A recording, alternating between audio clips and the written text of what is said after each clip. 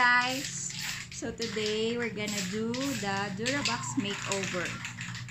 Let's see, magiging ano to? Team puti. Home bodies.